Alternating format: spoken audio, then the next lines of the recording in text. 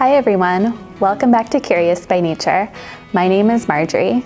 Here at the museum, we take care of a lot of animals, from butterflies to turtles to frogs to fish. Today, we're gonna feed some of the fish that live here at the museum. Let's get started. Hi everyone, so now we're down here and we're getting ready to feed our fish. I'm gonna keep my mask on because we're near our animals. Um, and we're going to uh, start off with feeding our good water habitat. So these uh, fish live in a habitat that's representative of a non-polluted water. So non-polluted clear water, it's going to support a lot of different types of life, a lot of different types of fish that are going to eat a lot of different types of things. So we actually have six different types of food we're going to be feeding them. And while we're feeding them, we're going to be feeding some fish, they like to eat on the bottom, and some fish like to eat on the top and some fish like to eat different things. So first, we're going to feed our fish some daphnia, which are basically teeny tiny crustaceans. So we're feeding the fish along the bottom first.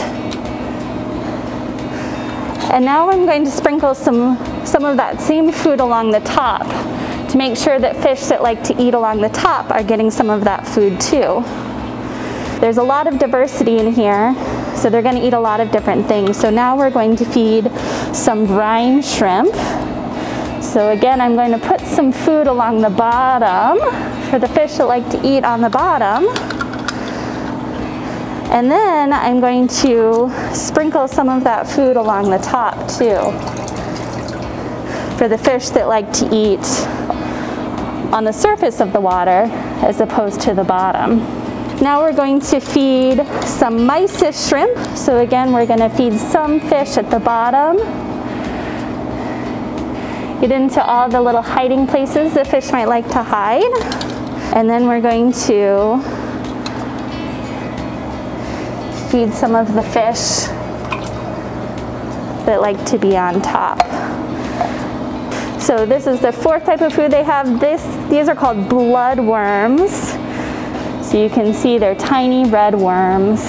So we're feeding these along the bottom. And then we're gonna be feeding these along the top too.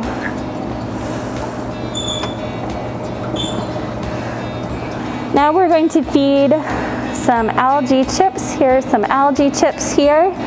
So these are just chips made out of algae, so made out of plants for the fish that like to eat plants.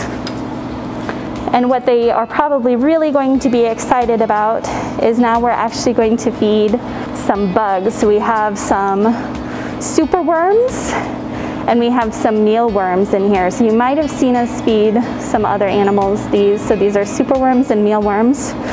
And because they're wriggling and moving, these fish usually like to eat these bugs.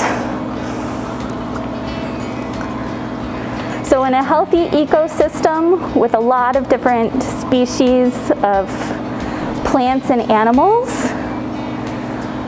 they're going to eat in a lot of different ways. And so that way they aren't competing with each other. And um, it can support more diversity of life. And that's actually one of the ways that ecologists and biologists can tell if a river or a lake has a healthy ecosystem is if it has a lot of different types of fish and a lot of different types of plants. Scientists will actually go out to a river or a lake and catch fish and the number of types of fish that they catch will actually tell them if there's a healthy ecosystem or, or not. So if there's not a whole lot of different types of fish, then it's probably not super healthy. But if they can find a lot of different types of fish in a river or a lake, that means it's a much healthier ecosystem. So in this habitat right now, we have a few different types of fish. We have some uh, dace, those are the ones with the lines on them. And then we have a couple types of minnows as well. The, the dace, um, they're called red belly dace. The males will actually turn bright red on the bottom um, when they're trying to attract females. So every once in a while when you come see these fish, There'll, uh, there'll be a few that are bright red, and those are going to be the male fish. And sometimes you can see darters in here. Those fish are pretty cool. They live along the bottom and I think it looks like they walk sometimes. Um, so in here you'll see, as well as a lot of different types of fish, you'll see a lot of different types of plants too. Um, having a lot of different types of plants, a diversity of plants, that also shows us that there's a healthy ecosystem here.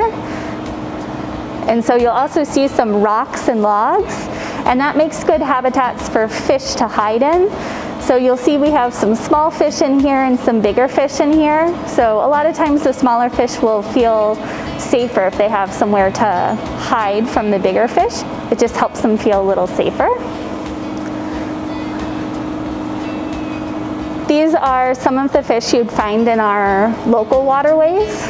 They only live in uh, healthy river ecosystems, so low pollution, it has to have high in oxygen, um, and it has to have places uh, with plants and rocks and places for them to hide. So nothing that has been dredged. So these fish are very picky about where they'll live. And that's our fish feeding for today. That's our show for today. Thank you so much for joining us. I hope you enjoyed learning about how we take care of the fish here at the museum. Be sure to leave any questions in the comments below and subscribe so you never miss an episode. We'll see you here next time on Curious by Nature.